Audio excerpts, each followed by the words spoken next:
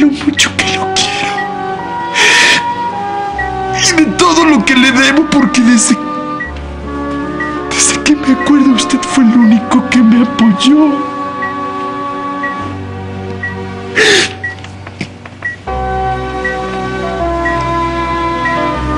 Y me dio mucho cariño.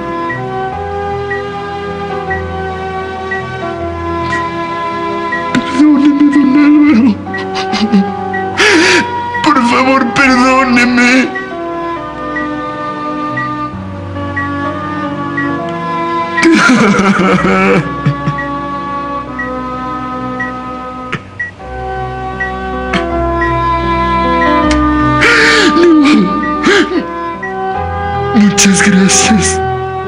Muchas gracias. Por haber sido como un padre para mí.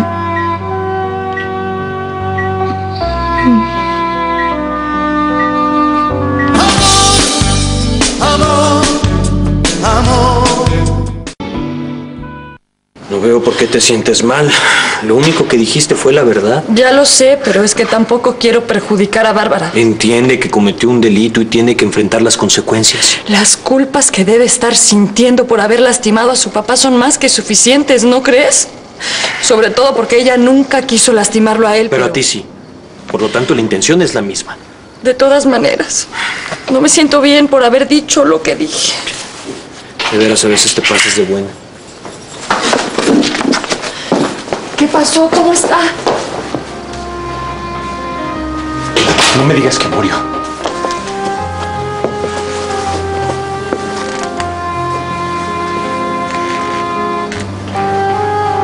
Todavía no.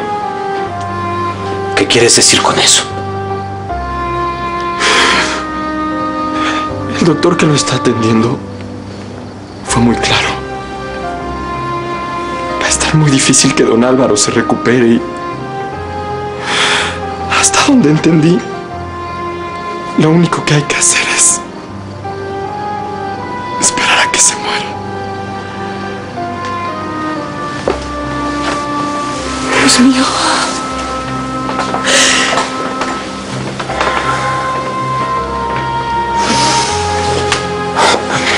Tengo que... Tengo que avisarle a mi mamá. Después de todo, se trata de su prima. Por favor, vete con cuidado.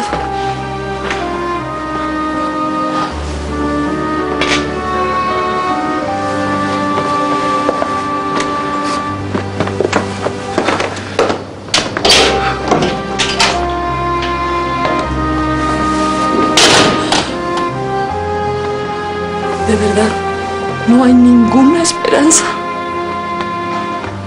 Según el doctor. No.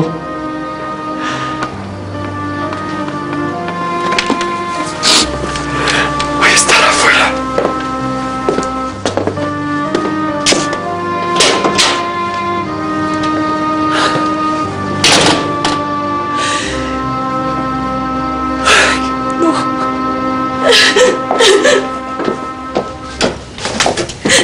¿Por qué me obligaste a venir para acá?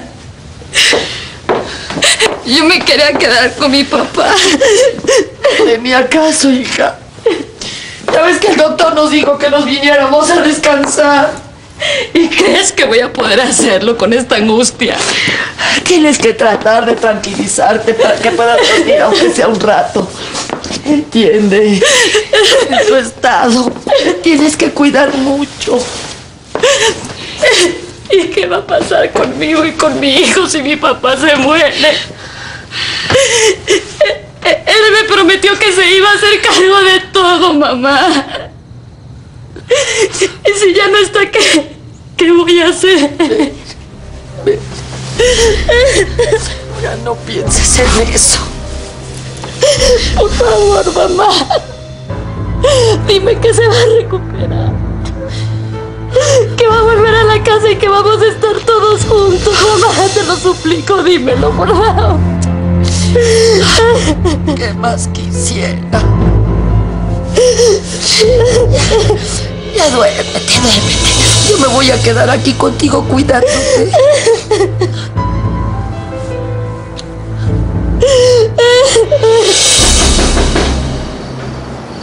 ¿Quién es? ¿Quién? Yo, mamá. Hijo, hijo, sabía. Ay, sabía que ibas a recapacitar y a volver a la casa, gracias. Mamá, mamá, mamá, no vine a quedarme a la casa, sino a traerte una mala noticia. Es algo muy triste y no te lo quise decir por teléfono. ¿Qué pasó? Mi padrino está muy delicado y lo más probable es que se muera. Dios mío. No me digas que tu padre... No, no, no, no, él no tuvo nada que ver con lo que pasó. Bárbara lo atropelló. Quería lastimar a Alfonsina, pero mi padrino estaba con ella en ese momento y el carro terminó pegándole a él. No puedo creerlo.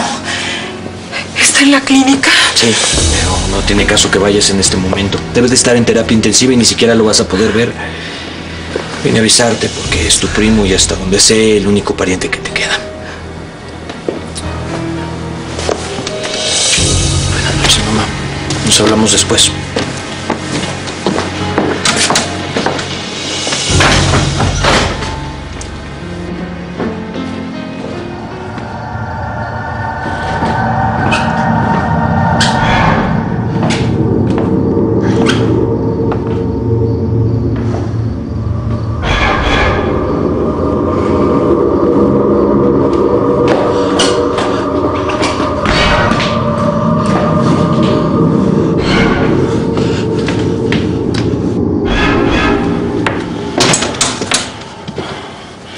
Qué vino Alejandro? Avisarme que Bárbara quiso matar a Alfonsina. Y en el intento terminó por atropellar a su propio padre. ¿De veras? ¿Y cómo está Álvaro? Parece que muy mal. Se está muriendo.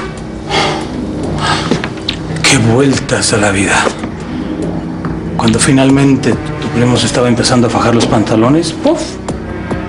Le pasa un carro encima. Eres una bestia. ¿Por qué? Álvaro no es mi pariente. Y la verdad, nunca he sentido ningún tipo de aprecio por él. Los que deben estar muriéndose de la pena son Alfonsina Valdés y el pobrecito de su medio hermano, porque ya no va a poder regalarles nada.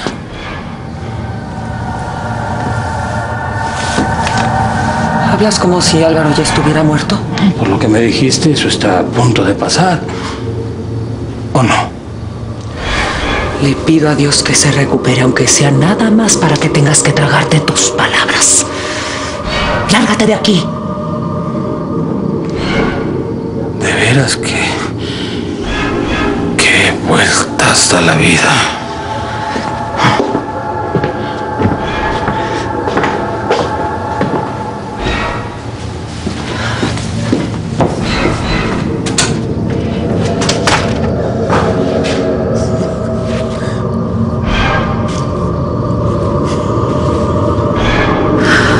Estás muy preocupado, pero no podemos perder la fe.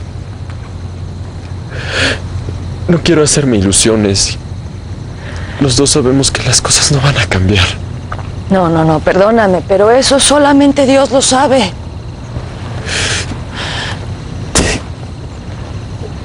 Te juro que, aunque esté resentido con don Álvaro por no haberse atrevido a decirme de quién era hijo, le tengo mucho cariño y me siento muy mal por lo que está pasando. Yo lo sé. Él siempre se portó muy bien conmigo y la verdad es que durante muchos, muchos años fue la única persona que me apoyó.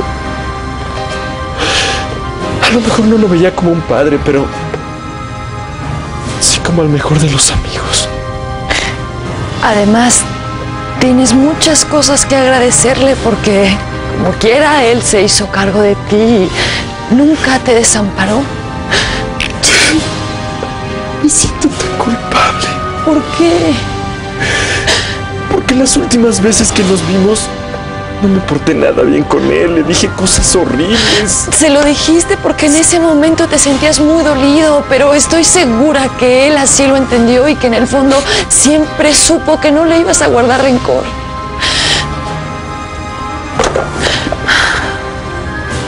Visto en la clínica. Le pedí perdón por haber sido tan duro con él. Y te juro que me dio la impresión de que puedo irme. Me da mucho gusto. Bueno, ándale. Ya, vamos adentro. Vámonos.